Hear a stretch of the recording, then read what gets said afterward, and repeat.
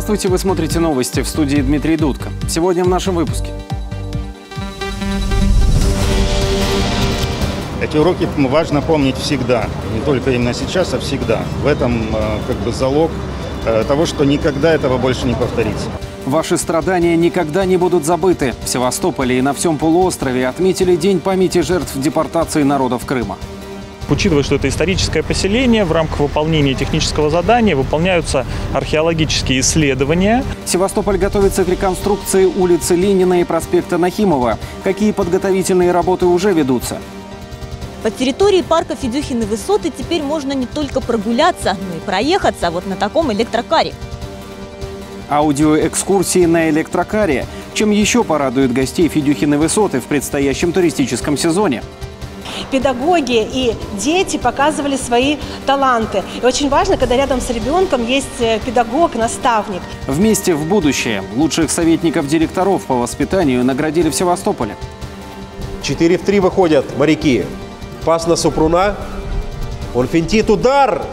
И мы видим, собственно, первый гол. Важная победа. Футбольный клуб «Севастополь» обыграл «Спарту КТ» в девятом туре премьер-лиги КФС. Расскажем, как прошел матч.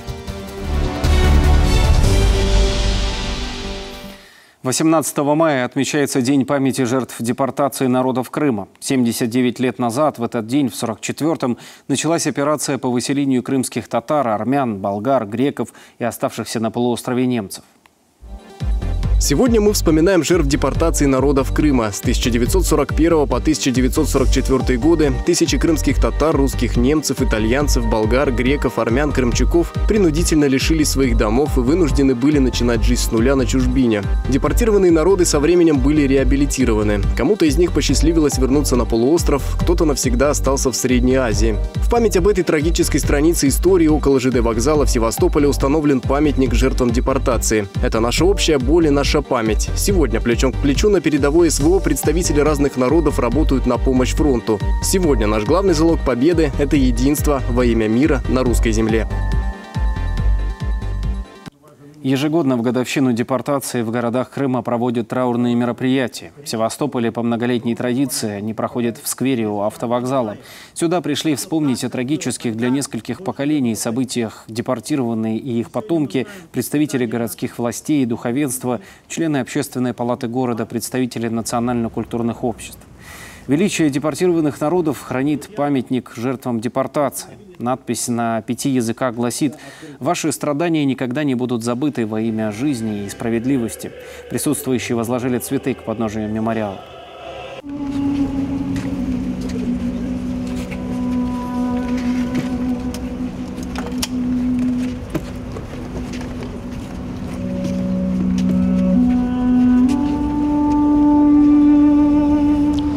Уроки важно помнить всегда, не только именно сейчас, а всегда. В этом э, как бы залог э, того, что никогда этого больше не повторится.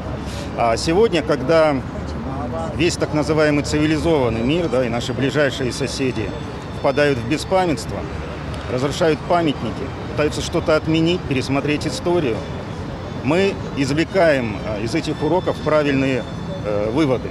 Потому что межнациональное единство, братство, дружба – это то, что объединяет. Незаконным и преступным актом депортацию признали лишь в 1989-м, а указ о реабилитации изгнанных народов Владимир Путин подписал 9 лет назад, когда Севастополь и Крым воссоединились с Россией. Выслали вот эти малые народы. Ну, одних раньше немцы по Волжье, которые их выслали в первую очередь, потом остальные. Мы, нас 12, 18 да, выслали вот. Это последние мы были. Вот я жил в Средней Азии. В Средней Азии жил, там у меня, ну, четырехэтажное здание, вот там. Соседи были и немцы, и армяне, и эти корейцы. Все между собой идеально. Мы все дружили и так далее. Жили нормально. Установить день окончания крымской наступательной операции 12 мая днем воинской славы предложили депутаты «Единой России». Законопроект уже одобрен профильными департаментами. На рассмотрение в первом чтении он будет вынесен в ближайшие дни. Один из авторов законопроекта, член Комитета Госдумы по международным делам Дмитрий Билик, отметил значимость этого сражения в ходе Великой Отечественной войны. Советские войска в этой операции задействовали мощную группировку численностью более 400 тысяч человек – Тысячи орудий, несколько сотен танков и около двух тысяч самолетов.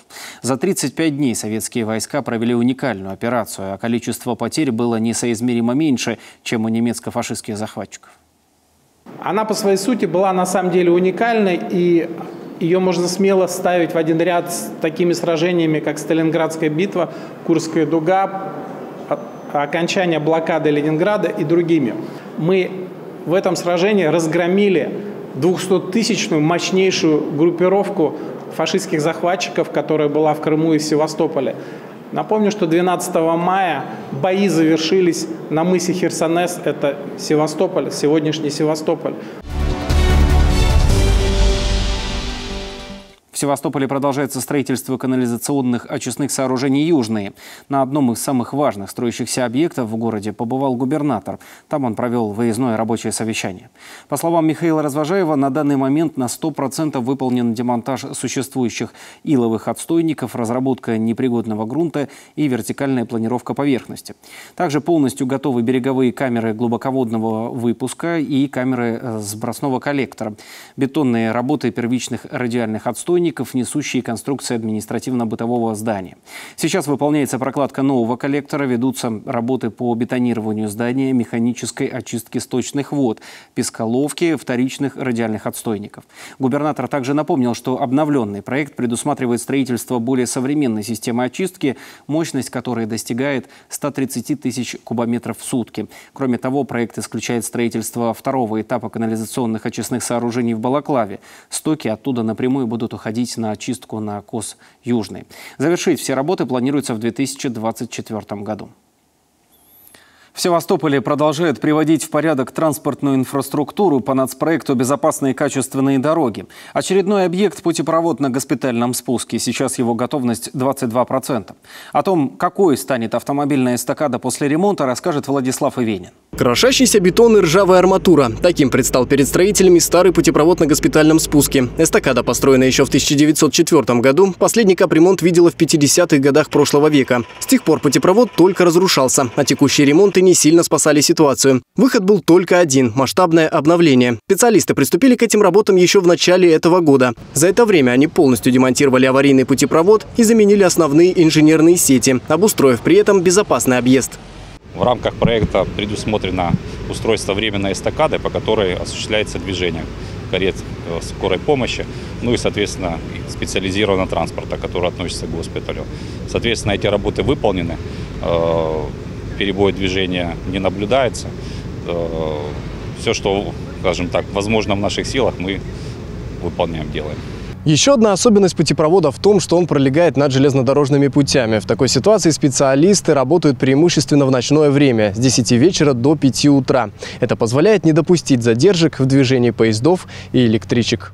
Ну а работы на этом участке у подрядчика более чем достаточно. Важно не только провести необходимые земляные работы, но и переустроить кабельные линии и контактную сеть железной дороги. Железная дорога непосредственно выдает технологические окна на выполнение данных работ. То есть это промежуток времени, э, в который не осуществляется движение э, железнодорожного состава, э, ну и в который мы выполняем работы. Кроме того, новый путепровод станет еще шире своего предшественника. Только для проезда автомобилей специалисты заложили две полосы по 3 метра. Позаботились строители о комфорте и безопасности пешеходов. Для них обустроят широкие тротуары. Все работы на этом объекте планируют завершить в ноябре этого года. В настоящее время вопросов нет. А, все подрядные а, организации задействованы здесь, которые на субподрядах также идут в графиках. И проблем не вижу. У нас высокой степени готовности объекты ремонтов. Это порядка 74 объектов уже э, введены в эксплуатацию. И в процессе сейчас, в ближайший, я думаю, месяц, даже меньше будут э, остальные объекты все введены. Всего в этом году по нацпроекту «Безопасные качественные дороги» в нашем городе приведут в порядок более сотни автомобильных дорог. Из них четыре объекта ждет капитальный ремонт. Владислав Ивенин, Дмитрий Сидоренко, Новости Севастополя. Ремонт дороги дублера, проложенной в объезд развязки «Огурец», завершат досрочно уже в этом месяце. Об этом сообщил губернатор Михаил Развожаев. Альтернативный проезд расположен вдоль садовых товариществ «Медик-3», «Медик-3А», «Весна», «Овощевод». Выезд будет в районе путепровода рядом с французским кладбищем.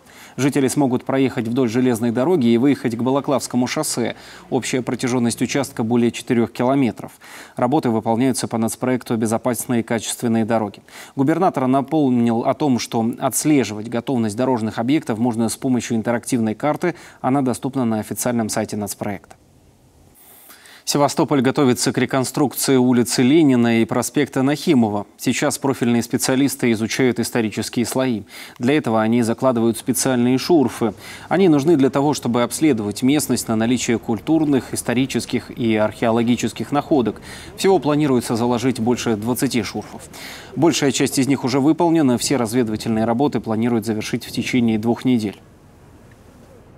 По результатам этой работы будет составлен отчет – который будет э, в составе проектной документации представлен в Управление охраны объектов культурного наследия для рассмотрения и оценки. Сейчас один из шурфов заложен и на площади Нахимова. По словам историков, на этом месте раньше располагался первый дом Микензи, который был снесен еще в 1912 -м. Если специалисты обнаружат следы культурного слоя, то исторические находки будут обязательно сохранены. Если обнаружат, также вот как, допустим, при выполнении работ по музейному комплексу, когда обнаружили остатки э, ценных э, объектов археологии, то их принято решение сохранить и э, сформировать археологический парк под открытым небом. В Севастополе продолжается голосование за общественные пространства, которые благоустроят в следующем году по нацпроекту формирования комфортной городской среды. На данный момент свой выбор уже сделали более 16 тысяч горожан. По промежуточным результатам в Ленинском муниципалитете по-прежнему лидирует сквер возле Центрального рынка, в Гагаринском – зеленая зона на проспекте Октябрьской революции между домами 26 и 32, а в Нахимовском – территория между домами 39 и 31А на проспекте Победы. В Балаклавском муниципалитете на первом месте сквер возле 52-го дома на улице Крестовского. В Орлиновском лидирует территория в селе Орлином возле пруда Зеленуха, а в Андреевском – общественное пространство на улице Майской в селе Андреевка. В Качинском муниципальном округе большинство голосует за территорию возле дома номер 10 на улице Авиаторов. В Терновском лидирует территория в селе Родном на улице Центральной. В Верхнесадовском муниципалитете на первом месте сейчас зеленая зона в районе дома номер 2 на улице Юбилейной во Фронтовом. А в Анкермане больше всего голосов отдано за территорию возле седьмого дома на улице Шевкопляса. Напоминаем, голосование продлится до 31 мая. Времени остается все меньше. Сделать свой выбор можно лишь раз и за одну территорию на платформе 92.городсреда.ру. Парк живой истории Федюхины высоты готовится к туристическому сезону. Там уже разработали новый формат экскурсий, благодаря которому осмотреть масштабную территорию получится намного быстрее, в том числе и у маломобильных граждан. Что для этого придумали и много ли еще планов хотят осуществить, расскажет Анастасия Синица. По территории парка Федюхины высоты теперь можно не только прогуляться, но и проехаться вот на таком электрокаре. А погрузиться в историю памятного места поможет аудиогид. Что ж, отправляемся в путь и давайте послушаем, что же он нам расскажет. Уважаемые гости, приветствуем вас в парке живой истории Федюхины высоты. Желаем всем хорошего отдыха и отличного настроения. Правила хорошего тона аудиогид, безусловно, соблюдает, прямо как настоящий экскурсовод. После приветствия начинается самое интересное, подробный и увлекательный рассказ о прошлом. Голос детально описывает каждое событие. Все для того, чтобы не только слушать хотелось, но и представлять, как оно тогда было в Средневековье. Первыми в Крым прибыли венецианцы и основали свою факторию. После короткой, но кровопролитной войны с генуэзцами выходцы из Венеции вынуждены были покинуть Крым. Прокатиться на электрокаре могут все желающие, но в первую очередь это доступная среда, помощь людям с особыми потребностями, передвигаться самостоятельно, которым тяжело. Позаботились на Федюхиных высотах и о детях. Для маленьких покорителей горок оборудовали игровую площадку, установили ее по национальному проекту. В рамках нацпроекта «Туризм, индустрия, гостеприимства» в городе Севастополе на развитие туристской инфраструктуры было в прошлом году поддержано 25 проектов. Это один из тех проектов, которые вот реализуются на а, федеральные средства. При этом при всем хочу дополнить, что а, вход у нас в парк бесплатный, детской площадкой можно пользоваться всем желающим. На Федюхиных высотах проходит Крымский военно-исторический фестиваль. Здесь часто проводят ярмарки, гастрономические туры, театрализованные представления, лектории, мастер-классы. Кроме того, работает велоцентр. Чем же еще привлечь посетителей? Идей много. Например, для школьников сейчас придумывают квесты. Очень сейчас активно работаем э, с детскими группами, со школами. Разработаны исторические квесты, на данный момент их два. Э, это «Сокровища Гены», который проходит на исторической площадке Генуэзской усадьбы Лока Чембали. И герои первой обороны, которые, соответственно, на площадке первой обороны Севастополя. Каким эпохам и событиям посвятят новые квесты, пока секрет, чтобы потом было интереснее. Ведь лучше, как говорится, один раз увидеть, а еще увлекательней поучаствовать. Анастасия Синица, Денис Прошин. Новости Севастополя. Севастополь презентует лучшие практики советников директоров по воспитанию. В честь года педагога и наставника, объявленного президентом Владимиром Путиным, в Доме офицеров флота устроили настоящий праздник для школьников и их учителей. С начала года в нашем городе впервые стартовали сразу два профильных конкурса с наставниками вместе и наставники детства «Ориентиры воспитания». Первый представлял собой интеграцию творческой энергии педагогов и юных севастопольцев. Он собрал около тысячи детей и больше сотни педагогов. На празднике представили итог работы – танцевальные и вокальные номера, театральные постановки. А советники директоров по воспитанию презентовали проекты для внеклассной работы. На мероприятии наградили лучших конкурсантов. Педагоги и дети показывали свои таланты. И очень важно, когда рядом с ребенком есть э, педагог, наставник. А, и вместе с командой действительно они могут много. И такие интересные композиции нам были представлены на этом конкурсе. Советники директоров по воспитанию, участники конкурса воспитательных практик сегодня представляют своих 10 лучших практик.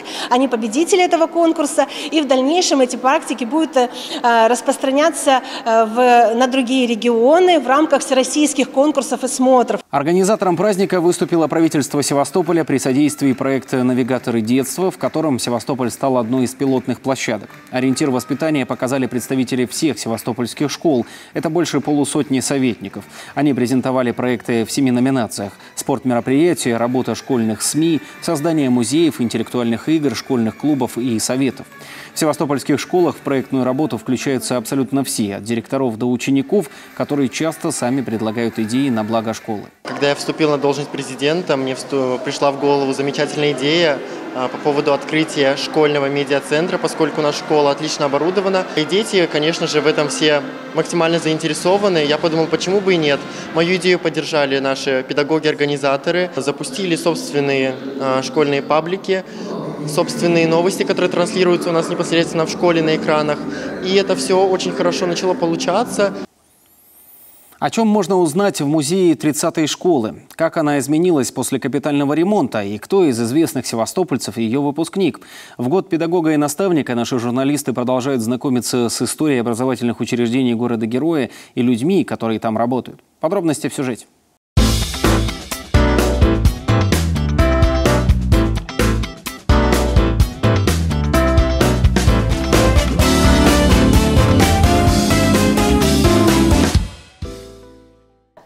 Проверить букву, которая обозначает безударный гласный звук?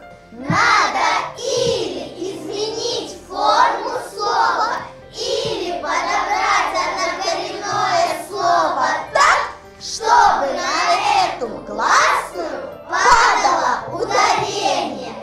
Хором лучше не только припевать, как в известной детской песенке. Правила русской орфографии повторять желательно тоже всем вместе, уверены во втором А. Игровая форма урока – надежный способ хорошо усвоить информацию, а заодно и размяться, повторяя движения друг за другом и, конечно, за учителем. В 30-й школе Лариса Витальевна так долго работает, что преподавала еще у родителей, рассказывают малыши. Наставник она добрый, мудрый и справедливый. За это и любят. Лариса Витальевна учила мою маму, и она была отличницей. И я тоже стараюсь быть отличницей. И Лариса Витальевна радуется э, каждому нашему успеху. Лариса Витальевна учила моего брата Тиму и теперь учит меня. Моя учительница самая добрая, отзывчивая. Она ругает не просто так, а за разные непослушания. А ругать-то особо и не приходится, делится педагог. Проблем с дисциплиной нет, все послушные и старательные, к знаниям стремятся. Ученикам начальных классов свою жизнь Лариса Долгополова посвящает более 30 лет. Профессию выбрала, когда сама еще была ребенком и равняться хотела на свою первую учительницу.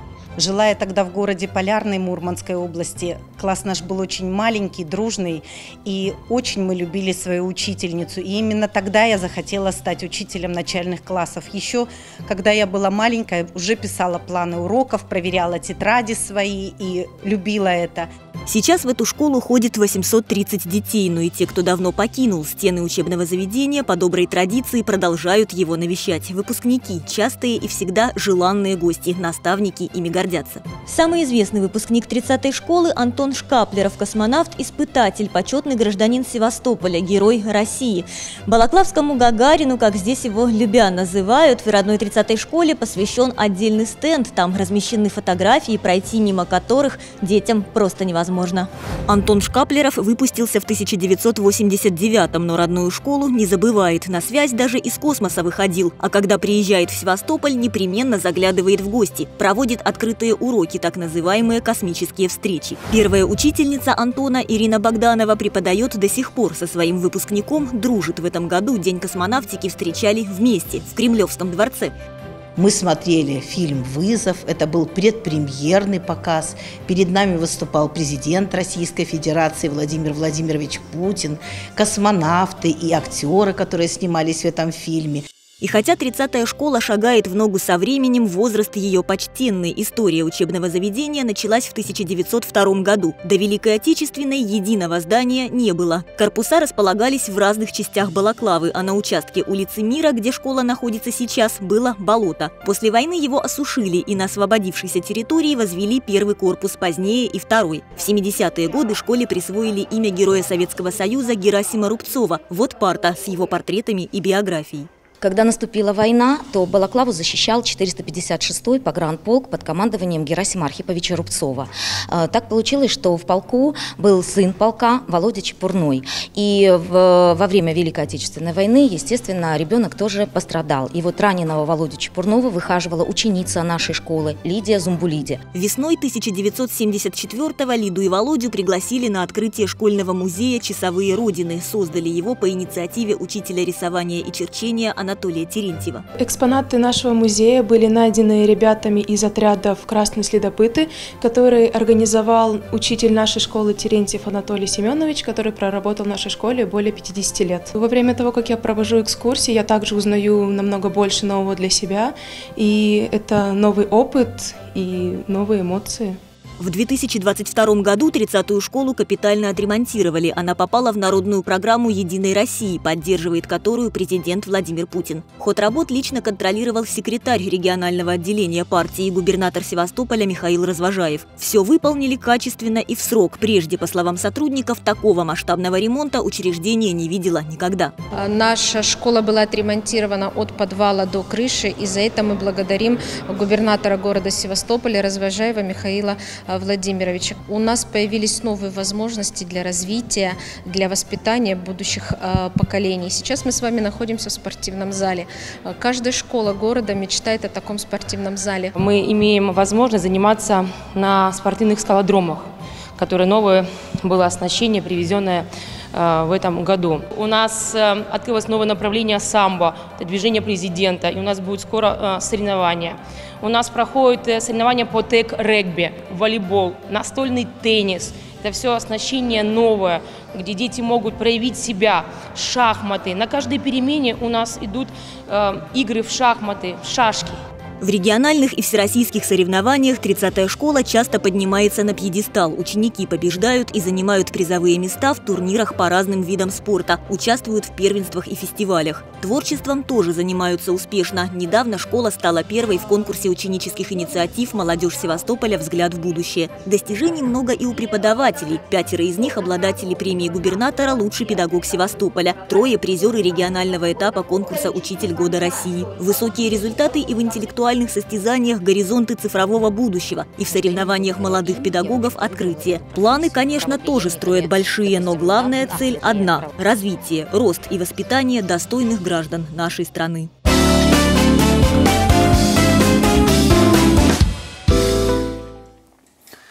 Футбольный клуб «Севастополь» одержал тяжелую, но очень важную победу с минимальным счетом в очередном матче премьер-лиги КФС. В гостях наши футболисты обыграли «Спарту КТ», а вот другая севастопольская команда своих болельщиков не порадовала. На стадионе имени 200-летия Севастополь и Черноморец проиграл Алустону ЮБК 0-5. Подробности матчей в репортаже Святослава Данилова. Футбольный клуб «Севастополь» в этом сезоне определенно лучше играет в гостях, нежели дома. Причем значительно. До матча со «Спартой» подопечные Станислава Гудзикевича на чужих стадионах одержали три победы и один раз сыграли в ничью. Дома же трижды разошлись миром и один раз уступили Ялтинскому «Рубину». Победная гостевая серия Севастополя продолжилась. Единственный гол в матче в добавленное к первому тайму время провел Максим Супрун. Виталий Мироненко со своей половины поля промчался с мячом, отдал передачу на Супруна, а 17-й номер нашей команды Фентом мгновенно убрал защитника и с близкого расстояния точно пробил поворотом. Четвертая победа в четырех матчах в гостях для Севастополя. Да, выиграли. Эмоции всегда э, после победы переполняют скажем так, радостные, потому что остальные эмоции были оставлены на поле, особенно в концовке игры, игры потому что, ну, скажем, мы должны были забивать еще несколько раз.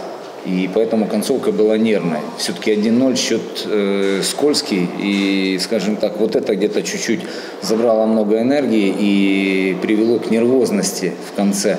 Хотя, по сути, ну,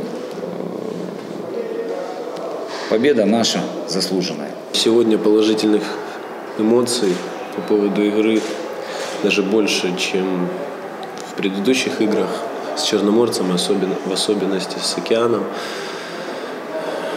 Я считаю, что мы проблем доставили Севастополю. Севастополь владел инициативой, больше работал с мячом, особенно во втором тайме.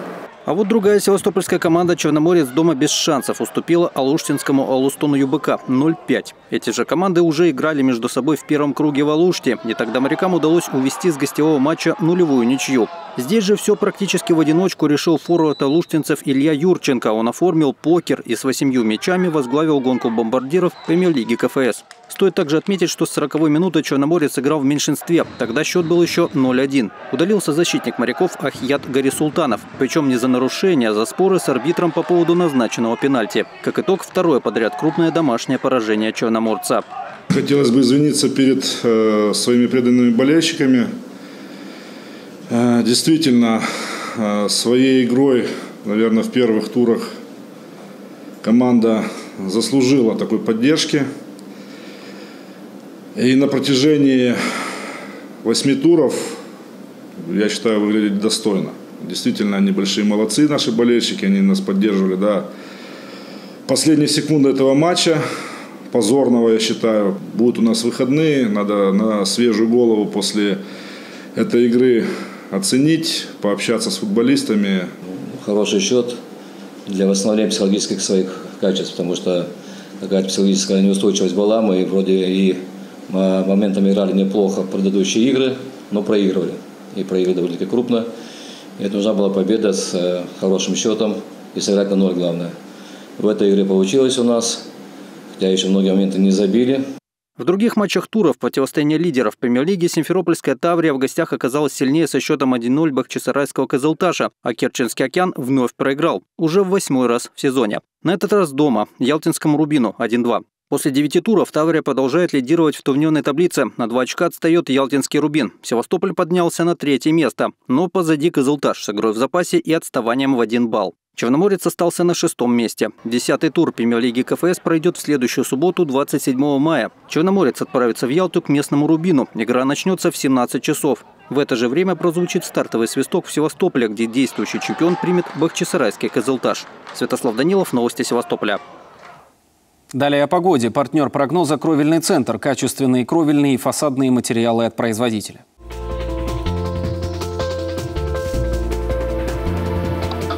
19 мая в Севастополе переменная облачность. Днем воздух прогреется до 24 градусов, ночью температура опустится до 17 градусов выше нуля. Ветер северо-восточный с порывами до 13 метров в секунду. Атмосферное давление в пределах нормы. Температура воды у берегов Севастополя плюс 15 градусов.